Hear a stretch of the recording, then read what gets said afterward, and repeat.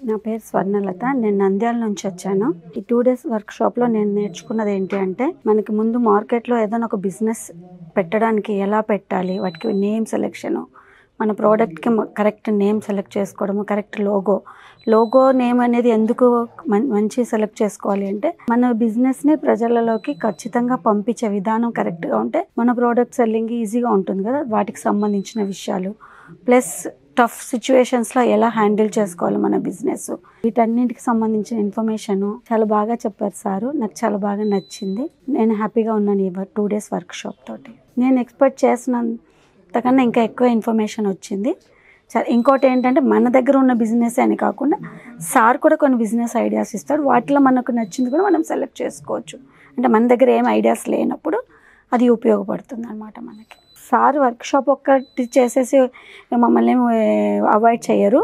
టోటల్గా మనకు బిజినెస్ పెట్టేంత వరకు మనకు హెల్ప్ చేస్తూనే ఉంటారు సారు. బిజినెస్ పెట్టిన తర్వాత కూడా ఏదైనా ప్రాబ్లమ్స్ వస్తే కూడా వాటిని సాల్వ్ చేస్తామని ప్రామిస్ చేశారు.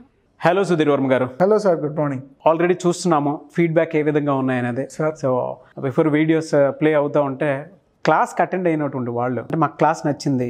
అండ్ ఈ విధంగా వెళ్దాం అనుకుంటున్నాము. సో బిజినెస్ ఐడియాస్ కొత్త ఇచ్చారు అనేటువంటి ఫీడ్బ్యాక్ కూడా కొంతమంది ఇస్తూ ఉన్నారు. రియలీ గుడ్ అయితే కొంతమంది అడుగుతూ ఉన్నారండి. బిజినెస్ చేద్దాము అనుకునేటువంటి వాళ్ళు. ఏ విధంగానంటే అంటే క్లాస్కి రాని రానటువంటి వాళ్ళే ఉంటారు కదా కొంతమంది. సో వాళ్ళకి నెంబర్ ఆఫ్ డౌట్స్ ఉంటాయి. సో ఏ బిజినెస్ చేయాలనేది ఉంటుంది. సో ఈ వీడియో త్రూ ఆ ఇన్ఫర్మేషన్ తెలుసుకుంటారు. ప్రస్తుతం ఉన్న ట్రెండింగ్ని అండ్ ఎక్కువ సేల్స్ అయ్యేటువంటి ఐటమ్స్ త్రూ కనుక వెళ్ళాలి అని అంటే సో ఏవి వెళ్ళొచ్చు అంటారు? అండ్ వాటి బిజినెస్ ఇనీషియల్ పెట్టుబడి ఏ విధంగా ఉంటుంది? ఎలా వెళ్ళొచ్చు అంటారు? నైస్ సార్ ట్రెండింగ్లో ఉండి తక్కువ టైంలో ఎక్కువ సేల్ అవ్వగలిగేవి మార్కెట్లో బాగా ఎమోషనల్ టచ్ ఉన్నవి. ఏంటి సార్ జనరల్గా ఎందుకు ఆ చిన్న పాజ్ ఎందుకు వచ్చిందంటే ఎలా చెప్దామని అంతకన్నా ఇంకేం కాదు. చూడండి సార్ ఒకప్పుడు టేబుల్ మీద మనీ ప్లాంట్ పెట్టుకునేవారు. అవును. దేనికి సార్ మనీ ప్లాంట్ అఫర్మేషన్స్ ఆ విధంగా ఉంటాయి. లేదంటే మనీ మనీ మనీ అని చెప్పేసి మన విజువలైజేషన్ కనెక్ట్ అవ్వడానికి అని చెప్పేసి అవడానికి. And oxygen plant oxygen plant కూడా అది. ఓకే. Oxygen సో బట్ చాలా మంది ఏంటి మనీ ప్లాంట్ దాని మీద పెట్టి పెట్టుకుంటే ఫస్ట్ డబ్బులు వస్తాయి. డబ్బులు అదే. రైట్ కరెక్ట్గా మనీ ప్లాంట్ పెట్టుకుంటే డబ్బులు వస్తుందని గ్యారంటీ ఏం లేదు సార్ మార్కెట్లో. అదొక పాజిటివ్ సైన్ పెట్టుకుంటే బాగుంటుంది. పాజిటివ్ సైన్ అంతే. ఎస్ తర్వాత మనీ ప్లాంట్ పోయిన తర్వాత కొన్నాళ్ళకి లాఫింగ్ బుద్ధ అవును. ఫెంక్షు ఇవన్నీ వచ్చాయి. అంటే ఏంటి laughing Buddha images golden frogs అని గోల్డెన్ ఎలిఫెంట్స్ అని గోల్డెన్ క్యామల్స్ అని ఇదంతా ఫెంక్షు చైనా వాస్తు ఇదంతాను. ఫెంక్షు వాస్తు అని ఆ ఐటమ్స్ కూడా టేబుల్ మీద బాగా పెట్టడం మొదలు పెట్టారు. ఇవాళ ఇది ఇండియన్ ప్రొడక్ట్స్ వస్తున్నాయి దీనికి. మనీ ప్లాంట్ అనేది వెస్టర్న్ కల్చర్ ఫెంక్షు అనేది చైనీస్ ఇప్పుడు మన ఇండియన్వే చాలా వస్తున్నాయి. అంటే ఈ ఈ ఫోటో ఆఫీస్ రూమ్లో ఇలా ఉంటే ఇలా బాగుంటుంది? ఈ బొమ్మ టేబుల్ మీద ఉంటే బాగుంటుంది బాగా డబ్బులు వస్తాయి. ఈ ఫలానా ఐటమ్ పాకెట్లో ఉంటే బాగా డబ్బులు వస్తాయి లాకెట్స్ అని అవని ఇవని చాలా వెళ్తున్నాయి వాళ్ళ మార్కెట్లో. మీరు ఇందాక అడిగారు చూసారా? ట్రెండింగ్లో ఉండేవి తొందరగా సేల్ అయ్యేవి. ఈ పాజిటివ్ ఎఫర్మేషన్ వాస్తు ప్రొడక్ట్స్. మీరు చెప్పినట్టు. ఇంట్లో కానీ ఆఫీస్లో కానీ టేబుల్ మీద కానీ బెడ్రూమ్లో కానీ కిచెన్లో కానీ చాలా చోట్ల ఇలాంటివి పెట్టుకుంటారు. చాలా మంది చూడండి సాల్ట్ చిన్న బాక్స్లో పెట్టి టేబుల్ మీద పెట్టుకుంటారు. To attract all the negative energy negative ఎనర్జీని అన్ని అట్రాక్ట్ చేసి పక్కన ఉంచుతుంది అని చెప్పి చాలా మంది ఆఫీస్ కార్నర్స్లో కూడా కొంచెం కొంచెం సాల్ట్ బిలీఫ్ సిస్టమ్ బట్టి బిలీఫ్ సిస్టమ్ని బట్టి ఏది తప్పు కాదు ప్రతిదీ రైట్ ఎందుకంటే ప్రతి ఒక్కరికి ఒక నమ్మకం ఉంటుంది. సో ఆ నమ్మకం ఆ సెంటిమెంట్ ఆ ఎమోషన్ అనే కాన్సెప్ట్ని మీరు ఒక బిజినెస్ ఐడియా కింద కన్వర్ట్ చేసుకుంటే పర్చేస్ చేసుకునే వాళ్ళు ఎక్కువ ఉంటారు. మార్కెట్లో ఉందిలేండి ఆల్రెడీ బట్ ఇది ఉన్నదానికి ఏంటంటే మీరు చెప్పినట్టు నిజంగా టేబుల్ మీద కానివ్వండి కార్నర్లో కానివ్వండి ఒక పాజిటివ్ సైన్ కోసం ఏదన్నా. ఇవాళ ఇవాళ డెకరేటివ్ ఐటమ్ అనేది ఇంటీరియర్ ఐటమ్ అనేది చాలా పెద్ద మార్కెట్ సార్. డెకరేటివ్ అనేది చాలా పెద్ద మార్కెట్. ఆ డెకరేటివ్లో ఉన్న పది ప్రొడక్ట్స్లో ఒకటి వాస్తు రిలేటెడ్ అనుకోండి లేదా మనీ అట్రాక్ట్ మనీ అట్రాక్ట్ చేసేది అనుకోండి ఇంకోటి అనుకోండి మంచి మనీ కోచ్ని పట్టుకున్నారు అనుకోండి వాళ్ళు చెప్తారు ఏంటేంటని. లేదా మంచి పంతులు గారిని పట్టుకున్నారు అనుకోండి నేను చెప్తారమ్మా ఇలా ఉంటే సరిపోద్ది ఇలా ఉంటే సరిపోద్ది అని. ఆ రిలేటెడ్ ప్రొడక్షన్ ఏదైనా మీరు స్టార్ట్ చేసి ఆన్లైన్లో కానీ ఆఫ్లైన్లో కానీ సేల్స్ చేసుకోగలిగితే that is a business idea. Hmm. అంతకన్నా ఇంకేం లేదు. ఇప్పుడు పేపర్ వెయిట్ అంటారు సార్. పేపర్ వెయిట్ నెసెసిటీ ఏంటి? పేపర్ ఎగిరిపోకుండా ఫ్యాన్ గాలికి పేపర్ వెయిట్లు పెట్టుకుంటారు. వాళ్ళు పేపర్ వెయిట్లు కనబడట్లా రీజన్ ఏంటంటే ఏసీ వచ్చేసింది. బట్ టేబుల్ మీద చూడండి ఎన్నో డెకరేటివ్ ఐటమ్స్ ఉంటాయి. ఈవెన్ ఆఫీస్ టేబుల్ మీద అయినా సరే పర్సనల్ టేబుల్ మీద అయినా సరే. Because that is a sign సరదాగా పాజిటివ్గా ఉండడానికి లేదా మనల్ని అట్రాక్ట్ చేయడానికి లేదా మనం నిత్యం ఆ ఐటెంని గుర్తుపెట్టడానికి పనిని గుర్తుపెట్టుకోవడానికి ఇవన్నీ కూడా kind of positive signs so ఆ పాజిటివ్ సైన్ అనే కాన్సెప్ట్ని మీరు డిజైన్ చేసుకొని రీసెర్చ్ చేసి ఏది పడితే అది కాకుండా రీసెర్చ్ చేసి ఒక సింగిల్ ఐటెం లేదా ఒక ఫైవ్ ఐటమ్స్ ప్రొడక్షన్ మ్యానుఫ్యాక్చరింగ్ చేసి హ్యాపీగా ఈ కామర్స్లో పెట్టి సేల్ చేసుకున్నా లేదంటే డిస్ట్రిబ్యూషన్ పాయింట్లో అన్ని గిఫ్ట్ స్టోర్స్కి మీరు అవుట్లెట్స్కి పంపించినా సరే ప్రొడక్ట్ అనేది సేల్ అవుతుంది. దాని నుంచి డబ్బులు సంపాదించుకోవచ్చు. ఎలా సరే initial business idea very good business idea అండి. వాళ్ళ ఎమోషనల్గా కనెక్ట్ అయ్యేటువంటి బిజినెస్ ఐడియా దాంతోపాటు లాంగ్ రన్లో దాని రిజల్ట్ చూసిన వాళ్ళు ఉన్నారు. అండ్ దాంతోపాటు ఉంటే ఒక పాజిటివ్ సైన్ ఉంటుంది అంతే. సార్. దేనికి అష్యూరెన్స్ లేదు దేనికి గ్యారంటీ లేదు. అది జస్ట్ మీ పాజిటివ్ యాటిట్యూడ్ అంతే. మీకు పని జరుగుతుందని నమ్మకం పెంచడానికి తప్పించి ఇంకేం కాదు. Hmm. యద్భావంతో అద్భావతి అంటారు కదా. మీరు ఏది పాజిటివ్గా అనిపిస్తే అది మీకు జరుగుతుంది. అనుకోవడానికి మీకంటూ సైడ్ ఉండాలిగా మీ కళ్ళ ముందు? అనుకుంటేనే. నిత్యం గుర్తు వస్తుంది అవును, అవును, లేదంటే అవును. గుర్తు రాదు సో ఆ రకంగా ఒక బిజినెస్ ఐడియాని మీరు డిజైన్ చేసుకోవచ్చు.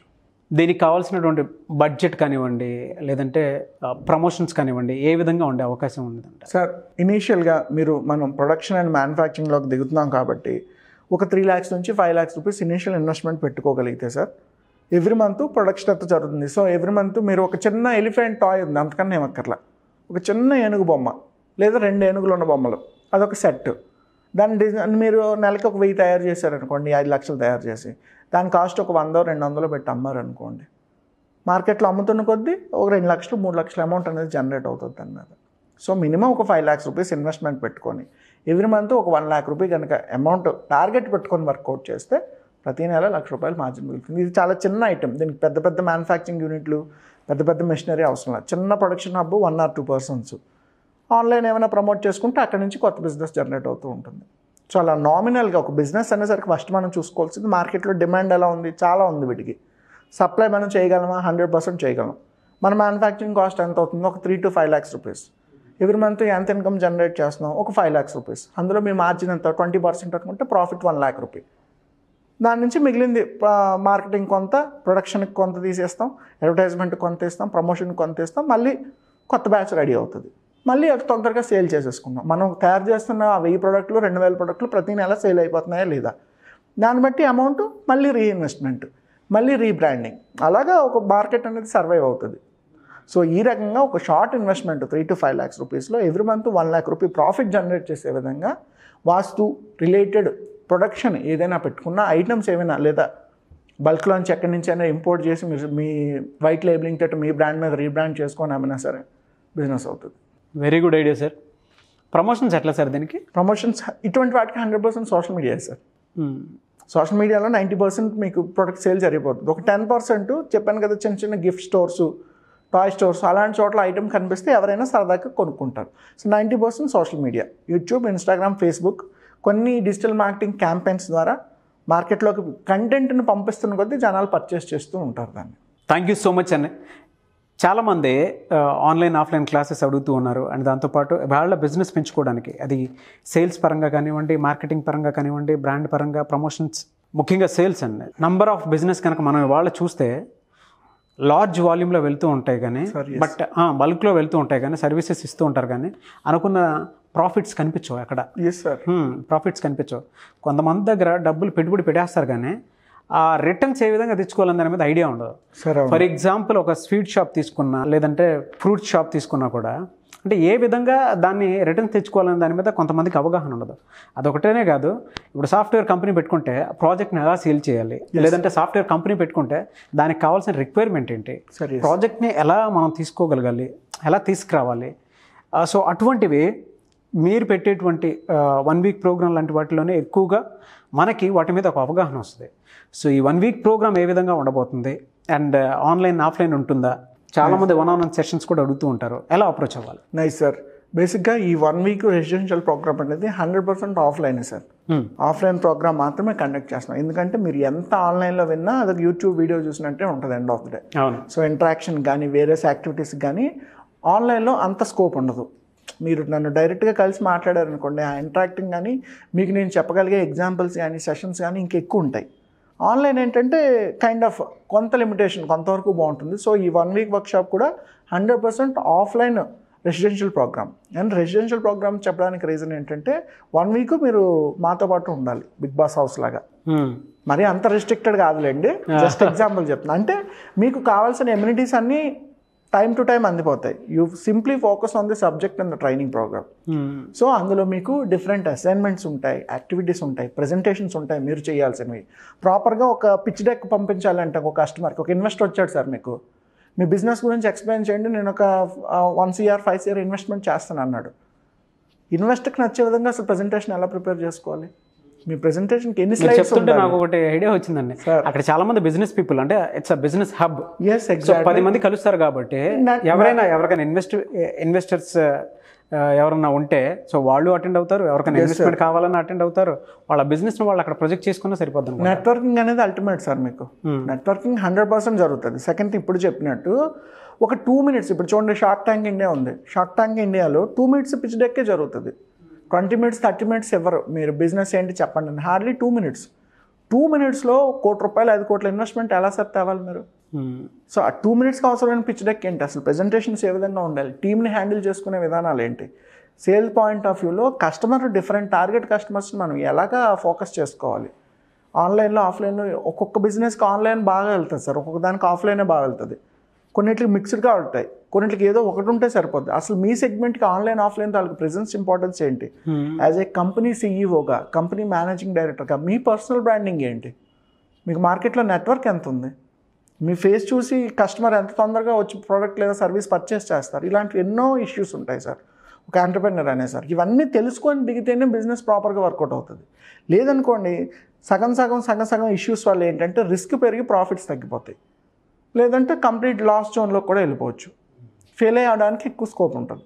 సో మీరు ఒక టూ ఇయర్స్ ఎంబీఏ చదువుకున్న గ్రాడ్యుయేట్ బట్ ఈవెన్తో బిజినెస్ అనేది ఎంబీఏ స్టూడెంట్స్ అందరికీ రాదు.